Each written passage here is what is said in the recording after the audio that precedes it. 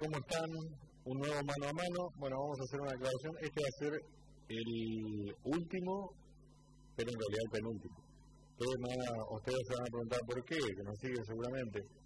Eh, porque el último, en realidad, vamos a eh, dedicarle eh, a el padre Tomás Bonjour.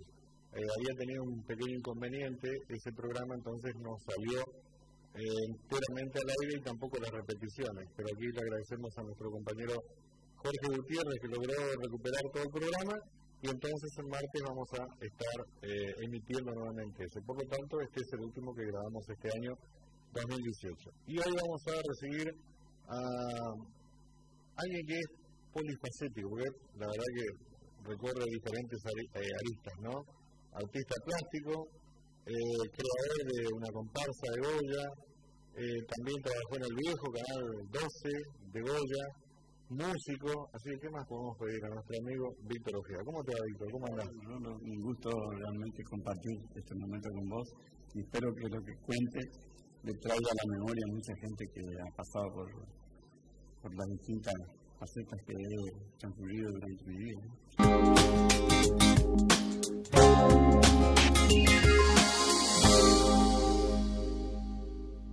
Bueno, hoy estamos junto a Víctor Ojeda eh, la verdad yo decía Víctor en el comienzo diferentes este, facetas, ¿no? Eh, ¿Con cuál quieres comenzar? ¿Cuál te trae más recuerdos? ¿Con el viejo Canal 12? Mira, sí, el Canal 12. el, Canal 12 funcionaba en, la casona que está en la esquina de San Martín y Belgrano, que todavía sí, conserva un poco de su su fachada, de su fachada, sí. Eh, y ahí tenía, bueno, entraba por un zaguán, ¿no es cierto? Y iba directamente al salón donde estaba la, parte de filmación y esas cosas. y ahí estaba la parte de control y eso. Todo organizado como un canal realmente lindo, lógicamente con los aparatos antiguos que en ese momento se utilizaban. Y yo realmente llegué al, canal porque necesitaban dibujantes, ¿no? Y le hacía, fíjate vos, en esa época se hacía todo dibujado, los cartones, eran en un tamaño de cartulina y la cámara tomaba esos cartones y ahí estaba la, la, parte de publicidad. Parece increíble, ¿no? Sí, y después, después también en algún momento me animé a hacer un programa musical ahí, como teníamos buena llegada con el, el dueño, este, eh, Álvaro Úbeda. Este, primero estaba el padre y falleció en el transcurso de que este, hizo funcionar el canal acá y quedó el, hijo, Alvarito. Este, y había muy buena relación, así que yo me pasaba bastante tiempo ahí en el canal. Y ya te digo, eh, mi trabajo era hacerle los cartones que después pasaban la, la publicidad. Y hay, hay un caso muy particular que ocurría con este, Alonso Ortiz. eh, él era el locutor publicitario del canal, ¿no? y por ahí me encargaban algunos patrones y yo no terminaba a horario, y el tipo tenía una publicidad yo en, el canal, ¿viste? que era escoto, pintor de china, entonces él pronunciaba con, con fuerza, ¿viste? Escorpio, pintor y así, total que yo parecía con el cartón que era, era gracioso, pero bueno, este, son cosas vivencias. De, ¿Qué, año? ¿Qué año fue eso Yo calculo que habrán dado, mira, no me acuerdo bien, pero habrán dado cerca de los 82, por ahí, 80 y pico. ¿Y era canal de aire, obviamente? Sí, sí, de aire.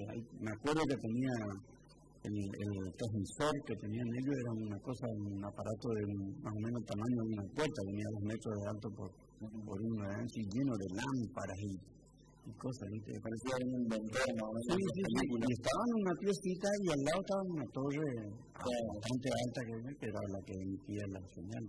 ¿Y una asociación de programas locales o...? No, no, sí, traían. Tipo cinta. En principio traían, sí, unos una, una rollos así, una cinta de video así de ancha más o menos. Claro, tipo la cinta de sí, cine. Sí, sí, sí, sí, pero esta era cinta muy parecida a la cinta del café, de los los... Pero, y tenían los reproductores. Y venían este, envasadas, venían los programas, ¿no? Eh, y transmitían programas este, periodísticos y de todo ahí. Y programas en vivo, que en uno de esos, me acuerdo siempre de que eh, Chacho Blanco, por ejemplo, tenía un programa vivo y presentaba músicos de amanecer, y era eh, auspiciado por un vino. Me parece que era Ubica el vino en esa época. Bueno, y un día él entra a conversar y estaba hablando y haciendo la publicidad y, con un traje todo de pinta. Y en un, en, un momento dice, y lo mejor que hay es el sabor, y mete la mano en el bolsillo y saca un vaso largo.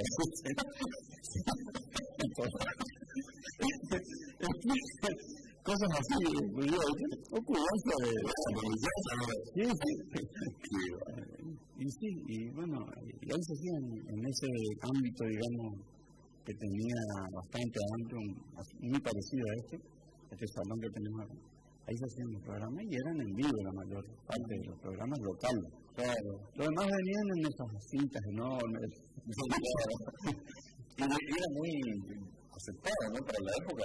Sí, sí, era prácticamente lo único que, que había. Claro, sí, no.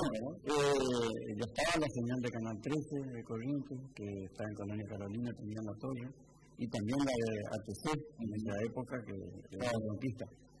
Que a veces tomábamos la señal y había veces que no, no llegaba con claridad. Y a través de, de, ATC de Conquista nosotros empezamos a ver la televisión en color. Claro, en esa época. Exactamente. Sí. Sí que era todo era blanco y negro y entonces tenía un televisor color de era un problema y tenía que estar aumentando la antena para ver sí, sí. ¿Y ustedes tenían alcance de la ciudad?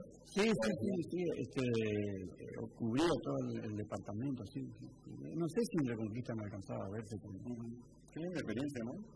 Sí, era muy lindo, a mí me gustaba todo eso, siempre fui inquieto en esas cosas, sobre todo en la televisión y eso. Siempre me gustó y bueno, hice mi experiencia en ese lugar. Claro, claro, lindo. ¿Y cuánto tiempo más o menos estuviste ahí? Yo calculo que habrá sido, habrá durado lo que duró el canal, digamos, dos años por ahí. No, fue muy mucho, ¿no? Poco. Sí. Fue la bueno, económicamente. Sí, sí, sí. Y viste que había, había épocas que la economía se iba. Claro, sí. Entonces no era rentable. Y me parece que fue a, porque yo no me acuerdo bien, pero me parece que Uber era de Curuzú, ah. esta familia. Y él llevó toda a, a pueblo. Sí.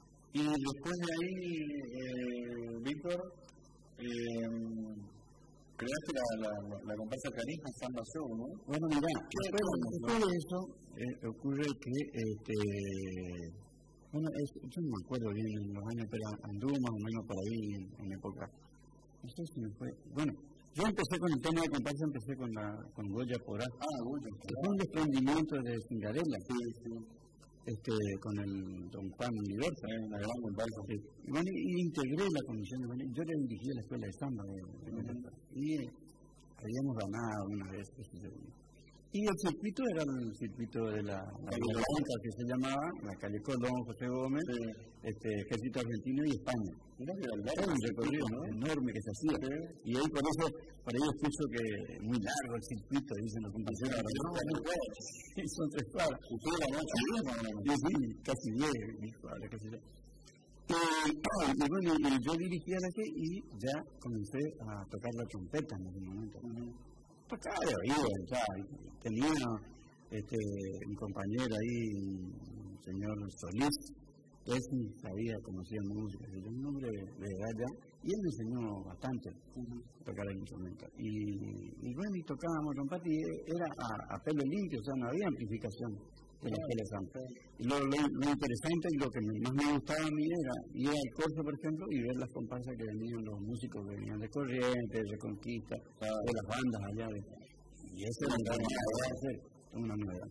Y nosotros con dos o tres que inclusive este, también empezó a aparecer el Tito Alfonso, con, entre los tres y, el sonido de este hombre, nosotros tres hacíamos con nuestra trompetita y la música para la comparsa. Qué lindo, ¿no? Sí. Y eh, viste que siempre pensé que, que, que los que todo era mejor antes que ahora. ¿Cómo qué recordar los carnavales de aquel entonces? Yo no sé si era mejor. Porque claro, siempre se dice todo el tiempo que era mejor. Sí, sí, generalmente cuando nos traen lindos recuerdos, pero, Este, yo creo que siempre hay cosas lindas. Cuando a uno le gusta, por ejemplo, la comparsa como a mí, este, yo comencé, ya te digo, yo por ahí después, en una de las noches, tocando con, ya había aparecido la banda municipal, la, la escuela municipal de música.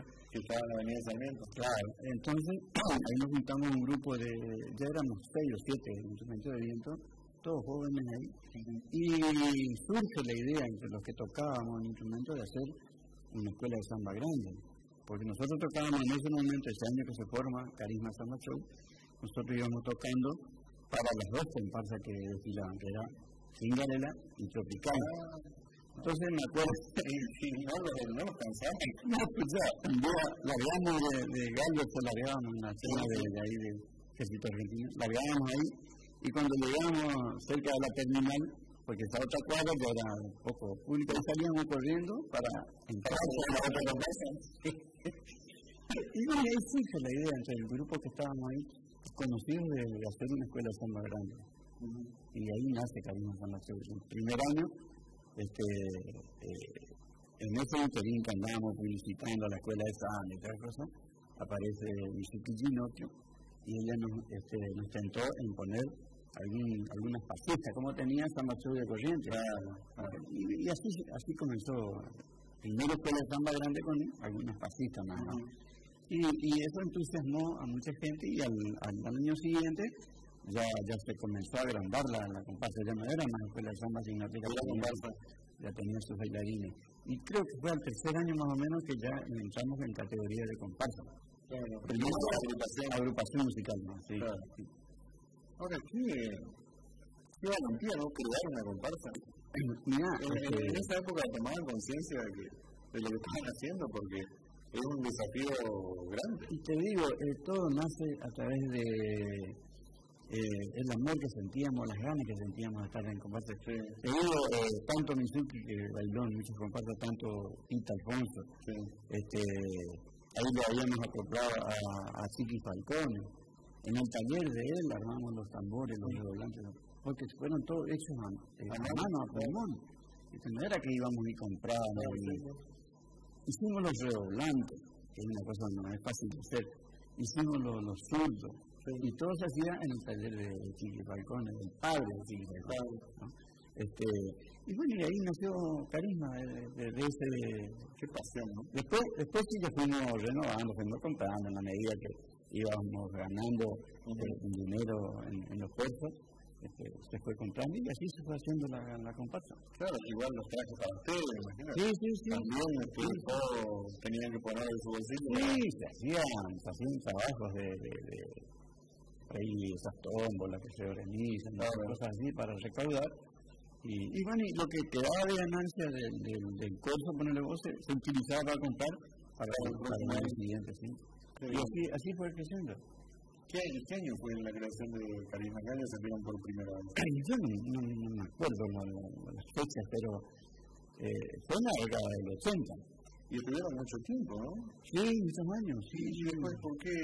Y mira, eh, después este, se fue, fueron algunos por razones laborales, cosas se fueron este, alejando de la comisión, podían seguir integrando. Y bueno, fuimos, fuimos este, se fue reduciendo el, el, la cantidad de gente. Y, y de última terminé yo solo con la comparsa. Que, eh, dividimos las cosas, hicimos todo lo y bueno, y yo seguí porque a mí siempre me apasionó. Este, y, y, y me, me gustaba en los últimos tiempos porque yo diseñaba también, hacía los diseños, hacía todo el trabajo de, de la comparsa, lo armaba, los espaldares, los, le colocaba las plumas, todo, todo un, un, trabajo tremendo, y, pero me, me apasionaba, me gustaba. Y por supuesto siempre con gente que, que me ayudaba, que, que, colaboraba, que colaboraba conmigo, porque si no era imposible. ¿Y tenías tiempo para, para todo? Y bueno, mira, vos sabés que yo solía tomar, este, mis vacaciones tomaba en enero. Ah, por eso, justamente. Por esa razón. Entonces ahí entraba y terminaba. Pero durante el año se trabajaba, no era no era que esperábamos el último mes para. Claro, claro. Trabajamos todo el año y, y, ahí se iban. Bueno, mientras estábamos, ponerle vos, este, eh, participando de los cursos, ese, ese mes, que, o cuatro semanas que se, participaba, ya, se estaba creando los diseños para el año próximo. Entonces ya íbamos, íbamos viendo, inclusive viendo la, la, cantidad de gente que tenía, que yo. Ustedes ya preveían sí, sí. Sí, porque si no, no, no, imposible, no, se puede llegar a tiempo. Y viste que por ahí dicen, no, la primera noche no, no llegamos a tiempo. ¿Por qué pasa eso? Y pasa porque uno siempre deja... ¿Siempre escucha también? Sí, sí, suele ocurrir eso. Casi todos los años pasa lo mismo. La primera noche uno sale medio... Y es porque por ahí a veces hay integrantes que piensan que en un rato, en dos días van a terminar lo que... Lo que no terminado en dos años. Y sí, lo que te lleva mucho tiempo. Y vos te das cuenta que llega el día y no, no, este, esto es un, tema, Te digo, yo eh, tenía un, un, citrón en esa época y me recorría la ciudad porque tenés que ir a controlar cómo van, qué le falta, qué, y, y bueno, y hay, hay personas que, que creen que van a llegar a tiempo y no, no, claro, terminan. Claro. ¿Y cómo es vivir la primera noche, por ejemplo, antes de que empiece? ¿Hay nervios? Sí, por supuesto, por supuesto. Nervios y, y preocupación y serie de cosas, todo se acumula. Este, y más cuando se te agranda la comparsa, porque cuando éramos poco no pasaba nada, qué sé yo. Pero nosotros llegamos, en un momento llegamos a tener 120 integrantes, entre bailarines y músicos. en todo. Y tenés que estar en todo. Y generalmente siempre se destacó los noche por tener una escuela de samba grande, porque en realidad nació en la este, Y yo calculo que en los años pico, digamos, de la escuela de samba éramos alrededor de 60 integrantes y 60 tambores ahí. Sí, bueno, ¿eh? Y, bueno, el nerviosismo de que por ahí uno no viene o, o no te traen una cosa o te falta algo, tienes que salir corriendo e ir a buscar. Y, después cuando terminan los cursos, es como que te sentís sí, Mira, yo pienso de que, eh, o sea, me ha ocurrido, después de la primera noche ya uno empieza a sentirse más olvidado porque vos llegaste con lo justo, pero pero se liga. Y ahora, por ejemplo, ¿qué te produce? ¿Los vamos a los Sí, suelo ir, sí. Y que, no, no, sí, me da mucha nostalgia, muchas veces eh, pensar, me produce, voy a arrancar de vuelta. Pero cuando vos este, haces memoria de todo el, trabajo, de todo y realmente en este momento hay que hacer una inversión grande para tener una comparsa más o menos. Yo tendría que, por ejemplo, la parte pluma, eso dura dos o tres años y ya sea anterior, ¿no? Entonces ahora si yo quisiera arrancar tendría que comprar todo de vuelta. Y, y son cosas caras, ¿no? Sí, no, la economía.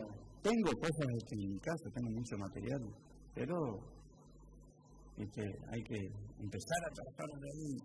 Y vos te, te haces memoria de lo, del laburo que tenías y entonces si no, no, no, no este, vos sos un apasionado, ¿eh? Bueno, en, en, el tema de la comparsa, este, yo te conozco cómo anduviste, cómo andás, anduviste en el tema del fútbol, del tema, así que bueno, cada cosa que te metes, te metes en fondo. Sí, sí, sí, sí, cierto. Como, eh, como, como tiene que ser, porque muchas veces delegan la responsabilidad porque dicen, no, así es más. No me pasa, me parece. Sí, sí, ocurre, sí. La, la, la gran mayoría parece que y sí, y como vos decís, cuando uno es apasionado, siempre está buscando eh, que todo salga bien, de que todo esté en orden, y, todo te lleva tiempo, todo te lleva trabajo. son, son, te digo, yo para mí siempre lo hice con mucho placer, todo lo que hice, porque siempre hice lo que me gustaba. Este, tanto hasta en mi trabajo, siempre fue, este, yo fui muchos años dibujante técnico de, de planeamiento, por ejemplo, y una cosa que el dibujo siempre me, me gustó. Este, y, y bueno, y lo mismo pasa con el fútbol. Yo no, no, tuve este, el, la felicidad de jugar en, primera división, en, el club de mis amores, qué sé yo. Eso no, porque en, mi época de juventud a lo mejor me dediqué a otra cosa. Entonces, eh, sobre todo la música y esas cosas que muy chiquito ya mamé en mi familia. Este, entonces el fútbol ya me agarró medio de grande, ¿viste? Y bueno, y, empecé a jugar, a jugar, me, me, entusiasmé y, y bueno, y seguí, después se, fundó la, la, división veteranos en Goya, también estuvimos ahí, este, y, y, fuimos a jugar al club que uno siempre quiso, y, bueno, son placeres que, que uno ha tenido durante su vida y que no fue fácil, que me, me dio trabajo, pero yo lo hacía con placer, o sea que era algo eh, me dio una felicidad, digamos, nosotros en me dio gusto.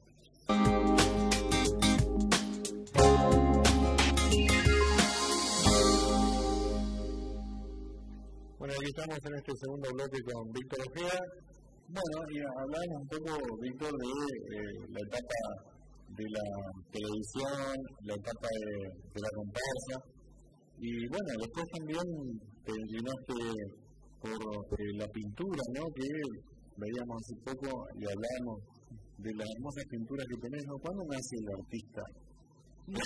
yo, este, creo que es una cosa ya, igual que la música, un poco hereditario. Mi mamá dibujaba muy bien, ¿sí?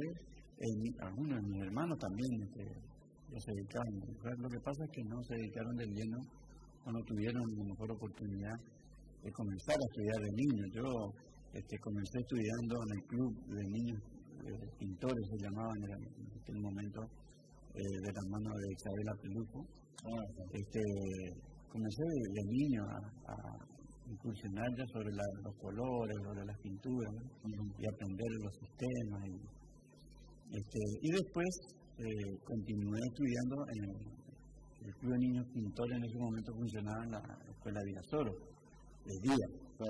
Ahí nos llevaban nuestros padres y, este, y después pasé a estudiar ya de noche y tengo un título de dibujante artístico, ahí precisamente en el Virasoro. Y ahí ya se profundizó un poco el, tema de la pintura, uno ya empieza a trabajar con óleos, con un montón de cosas. Este, y bueno, y perfeccioné eso. Después también como dibujante eh, estudié en la escuela técnica, ese dibujo técnico, que también era otra cosa que me apasionaba. Este, y, y, así comencé, ya te digo, de muy de niño, como con la música. Claro. Que esto nace, es una herencia familiar prácticamente. Ahora tengo un nieto, por ejemplo, que se pasa dibujando todo el día así, y dibuja una maravilla. Fíjate vos cómo es este, la herencia no, no, sí. que va sí. y, ¿Y cómo nace la, la, inspiración para un cuadro, por ejemplo? ¿O cómo te nace? ¿O ves algo y decís, voy a pintar esto, me apasiona esto? ¿O de repente hasta que yo acostado, uno le imagina un cuadro? Yo este, generalmente, últimamente, comencé a hacer este, con el aerógrafo. Este, me gustó porque son se logran los degradés, digamos, de la pintura que no se logra a lo mejor eh, rápidamente con el pincel. Hay, hay artistas que con pincel hacen maravillas, Bueno, yo me incliné por ese sistema y hay muy pocos en que utilizan este y no eh, generalmente pintando de pronto frutas este, eh, flores este, y retratos, también tengo muchos retratos de, de, este, y bueno, y utilizando ese sistema porque ya te digo, me, me atrajo la, la, la, posibilidad que te da este, de, degradé y de, cosas que con, por ahí de pronto con un pincel no se hace muy fácilmente. Y utilizando pinturas que tampoco no, no, como el, el, caso del acrílico. El acrílico, eh, porque el, el, aerógrafo es como un soplete de pintor, de los que pintan autos, pero en un tamaño reducido, chiquitito. Entonces va ahí con agua y pintura le va dando este, el color, el color que, ¿Y qué? Viste que por ahí uno le pregunta a un artista y dice, no, yo soy paisajista, ¿no? Que hago de ¿Qué es lo que mejor o lo que más te gusta? No, yo en realidad. variado. Variado, sí. Este, pero sobre todo atraen eh, colores que de pronto tienen las flores, que hay flores que, que te cautivan el, colorido. Y eso impregnar en, la tela, en el papel, no es fácil. No, este, después, lo que es fruta, por ejemplo, tengo algunos cuadros de, de manzanas, con, con Sí, este, y, y el otro es el retrato, la, tratar de aproximarse lo máximo a, una foto. Entonces, todo eso son, son desafíos que, que uno se va a poner. Y cada vez se va poniendo desafíos más difíciles. Sí, sí, lógicamente. En la medida que vos vas que perfeccionando el sistema, este, los desafíos son, son, mayores, pero también son más placenteros, porque vas logrando cosas este, más delicadas, más, más perfeccionadas. Y ahora, por ejemplo, que estás pintando algo, o estás pensando en, en, algo para pintar? Yo hice, lo último que hice fue un retrato de mis tres nietas, juntas. Un cuadro que estuvo en la exposición. Sí, estuvo en una de las exposiciones. Y este, dije, bueno, yo como para, para porque yo eh, cada vez que le pintaba a uno de ellos, le regalaba después el, retrato, ¿no es cierto? Y en las casas de, mis hijos y mis nueras están ¿Pero ¿Eh? ¿Y en tu casa? Sí, sí, tengo, tengo también. Algunos que no, ya no pongo porque me va a ocupar todas las casas. Bueno, eh, eh, y estoy haciendo, por ejemplo, le hice lápiz en blanco y negro, pues, para utilizar otro sistema. Este, y quise tomarle foto del, del, cuadro individual y ampliar no me dio el, el, efecto que yo quería, no me, no, me, no me parecía, la foto no parecía muy, muy nítida. Entonces, ¿qué hice? Lo voy a hacer en forma individual a cada una el retrato nuevamente al lápiz. Eso estoy haciendo ahora. Empecé con la, la nieta que es mayor, digamos, este, este, Delfina, eh, y, y, me falta todavía terminar porque son, son retratos grandes y vos imaginate con un lápiz es, completamente al lápiz en blanco y negro. ¿Y cuánto tiempo te lleva, por ejemplo? Y lo que pasa es que yo generalmente en los momentos... tener ganas de pintar? Sí, sí, sí, sí. No, no, no, no, lo que tengo que hacer. Por ahí de pronto voy a decir, bueno, voy a, voy a meterlo porque si no, no termino nunca, qué sé yo, y le seguir dando. Pero en generalmente eh, uno tiene que estar con ganas o, decir, bueno, hoy me dedico. Claro, este, y entonces te lleva, te lleva tiempo, ¿no? Es que uno todos los días bueno, a comer, pasa eso, pasa, pasa. Con eso, con, con, con los retratos, con la música, con todo pasa eso. Que, bueno, debe mirar la obra que... Claro, y uno está ensimismado, ¿viste? Sí, sí, sí. sí. No, no, no sabe el tiempo que está no, no, no, calcular el, horario. Claro. Ahora, viste que hay, hay mucha gente, bueno, mucha gente dice, uy, el arte abstracto, por ahí no entiende mucho. Mira una pintura y ve que parece que le tiraron tres baldes diferentes y todos maravillados. ¿Cómo se entiende eso? Yo calculo que hay interpretación. Sí, sí, sí. Dicen son olas, ¿no? Dicen, no, son edificios. Sí, sí. Este, yo creo que son inspiraciones de cada artista. Yo he hecho, tengo algunos así. Me acuerdo que, por ejemplo, tengo uno que todavía vive porque viste, uno regala, uno no, no he vendido casi cuadros yo este, realmente. Y, y, es una esfera, este, esto fue hecho a pincel, todavía no utilizaba yo el, aerógrafo, una esfera con un calado en el medio y que entran dos, como dos, dos este, tubos así. Y bueno, y la idea era darle la sensación de, esfera y, y, y, de esos dos tubos que eran transparentes como dos vidrios que están entrando en el, y bueno, yo traté de, con el pincel de darle ese, ese efecto. De realidad, que, que, vos mires y te des cuenta que son dos, dos cubos que están entrando dentro de la esfera y que... Claro, recuerdo cada uno. Sí, sí, sí. Pasa por ahí uno que si yo mirando la afuera no, no, no, entiende mucho, hasta, hasta uno hay que reconocer, es medio bruto para para saber discernir, ¿no? Sí, este, yo creo que, ya, te digo, eh, me parece que todo depende de la inspiración del artista del momento. Pero a mí tampoco no es que me atrae mucho eh, hacer una obra así con... Yo quiero que mis obras digan algo, si no, no, Porque vos de pronto ves un cuadro y ves un montón de manchas y...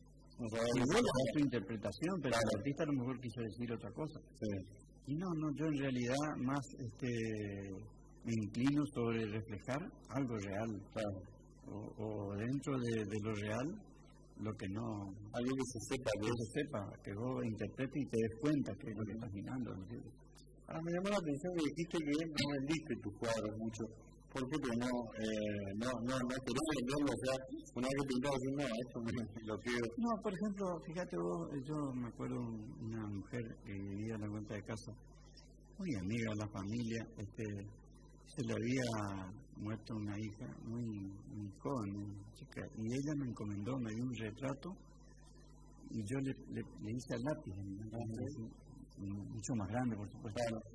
Y eso me pagó eso vendí yo.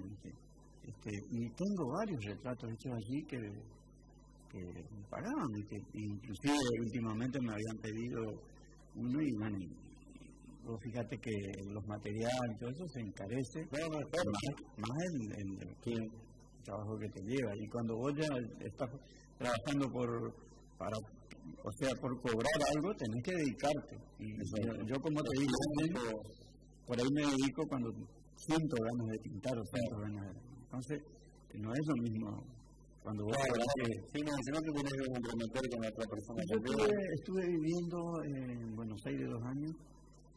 Fuimos con mi mujer, cuando recién nos casamos, fuimos a Buenos Aires. Y allá, y llevé a mis cuadros, llevé muchos de los cuadros. Y allá vendí, porque los parientes, los amigos, los conocidos, de pronto venían y veían, eh, che, vendí, y vendí, vendí algunos ahí en, en ese Después otro no, me acuerdo, porque yo inclusive te digo, eh, mi, mi trabajo, cuando ni bien vengo de Buenos Aires, este, eh, comencé eh, a abrir un taller de pintura, de, carteles, ah. de cartelería, claro. que inclusive te digo, los muros de Matienzo he pintado en varias ocasiones. Este, y bueno, y ahí, ahí me dedicaba a la pintura, pero ya este, publicitario. Exactamente. Que es un lindo arte también. Sí, sí, sí, sí, precisamente. Hacer, hacer los carteles y ponerle algo de arte en cada. Claro. ahí poner un poco de ingenio sí, de cada, de cada uno. Creatividad. Exactamente. ¿Cuántos que tenés, Víctor? Cinco. ¿Cinco? Cinco hombres, ya. Cinco, por supuesto.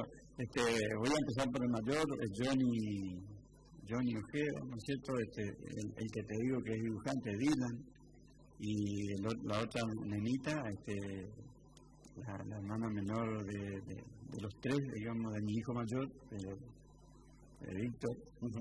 este, eh, ay, no me acuerdo el nombre. De, bueno. Después está Luli, de tu, programa, este, Sofía y Pedro, que le, tiene eh, a Delfina, que, es justamente el retrato que estoy haciendo ahora a lápiz. Porque ella es la que nació antes de, la otra, es la mayor, digamos. Ah, ah, ah. Están medio los, juntitos los, los, cumpleaños. Fíjate vos, en, enero, una, en la otra mitad de año y, la última. Así que están los, los malcriados, Y sí, se pasan en casa, más, que nada. Yo, eh, mi mujer es el que los malcría, eh, se pasan en casa, ¿viste? están con nosotros permanentemente y para nosotros es un placer tenerlos ¿Qué te parece? a ellos ahí. ¿Y qué se, viste que siempre se dice, bueno, uno escucha que los nietos, este, uno los quiere más a los nietos que lo que, o, porque los maldiga más a los nietos que a los hijos. ¿Y sí, pasa eso en serio? Sí, pasa, pasa. Pasa porque, no sé, no sé si a, a, a los hijos tenés que educarlos y ahí por ahí a veces que bueno decirlo y sí, sí, son ya, ya, ya, ya no es lo mismo. Y en cambio los nietos te están pisando la cabeza y no le no. y sí, tenemos justamente queda con nosotros toda la tarde María Victoria, la, la hermana más chica del, del de, de, Negro. Este, ella queda toda la tarde con nosotros, porque la madre es maestra, el negro también está trabajando, entonces queda con nosotros. Y ella no nos deja dormir la siesta, ¿viste? No, no, no. Que no solo le perdonamos, sino que le, le malcriamos. Y sí, a lo mejor viste un reto y andaba a dormir la siesta. Ella no duerme en la siesta, se queda ahí jugando. Este, pero en realidad son todos mis nietos son muy amorosos, muy, queremos mucho y, y no, no nos cuesta de pronto cuidarlos, que estén con nosotros, que al, revés. Para nosotros es un placer tenerlos muchas horas durante el día. Me imagino. Y la música, eh, viste, hay un tema que yo siempre recuerdo que dice, todo tiene música, para vos todo tiene música. Sí, en realidad, otra, otra de las cosas, yo por ejemplo cuando estoy trabajando, estoy pintando, tengo que escuchando música, tengo que estar escuchando música porque parece que se inspira un poco más, qué sé yo. Pero en realidad, este, como mi padre era guitarrista, él tocaba la guitarra, un hombre que hizo, Antonio. Antonio. Él, él hizo un trabajo pesado, porque empezó con herrería, después se dedicó a hacer afilados de cierre y cosas así.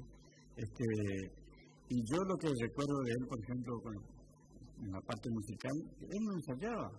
¿no? Él no, raro era la vez que lo que agarraba la guitarra y eh, solía contar que de, joven, en su juventud, él todos los fines de semana iban a tocar, por ejemplo, a Plaza este, Mitre, ahí se juntaban un grupo y tocaban, cantaban y, otro pasaba la gorra, el sombrero. Y este, pero él llegaba poniendo a la fiesta, me acuerdo, este, y cada vez que me encuentro, cada vez que la escucho a ver también, este, me llena la memoria mi padre, mi hermano, mi hermano mayor, Raúl, que es guitarrista también.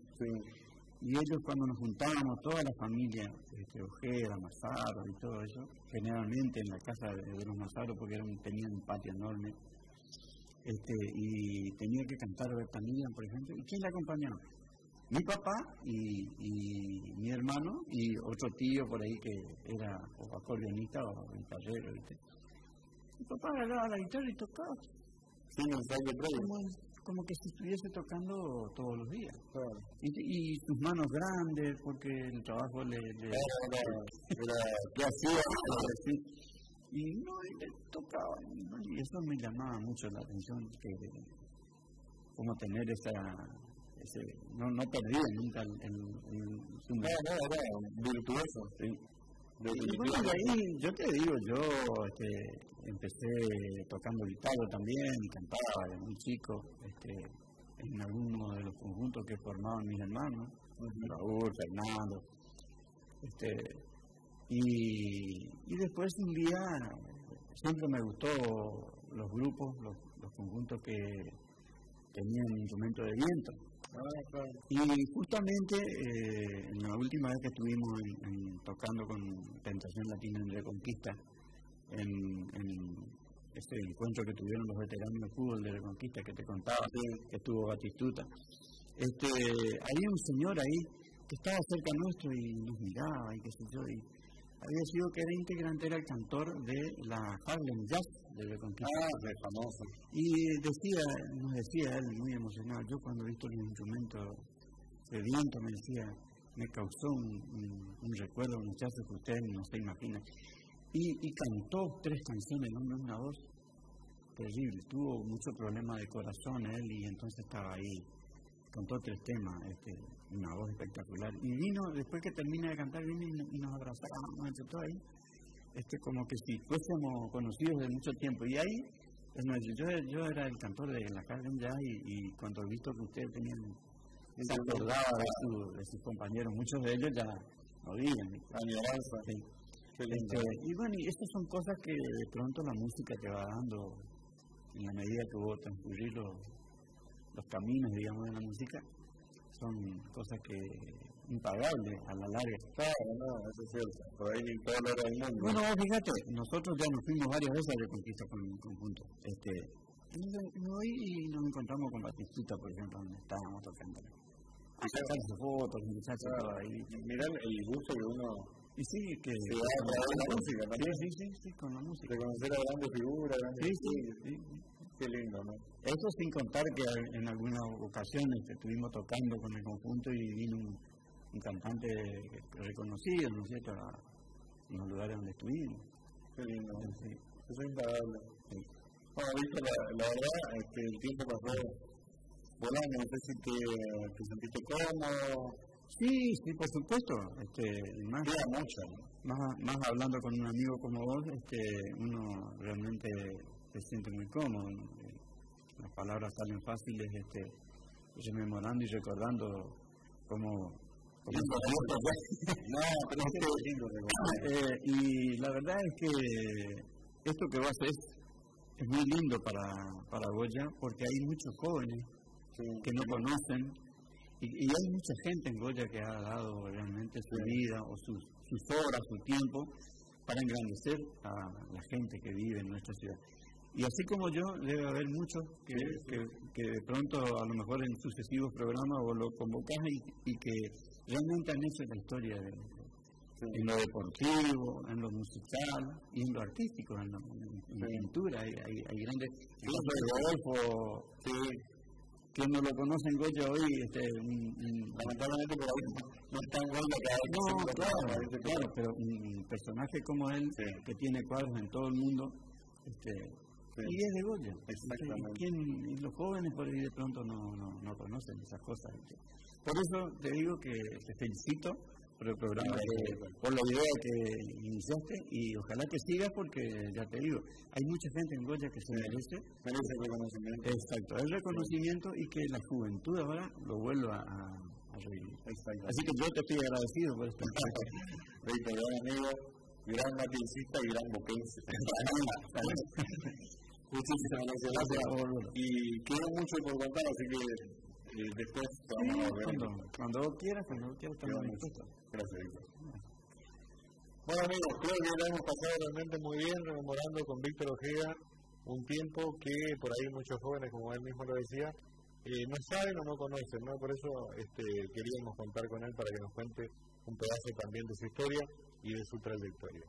Gracias y seguramente el año que viene, 2019, nos estaremos encontrando en otros Mano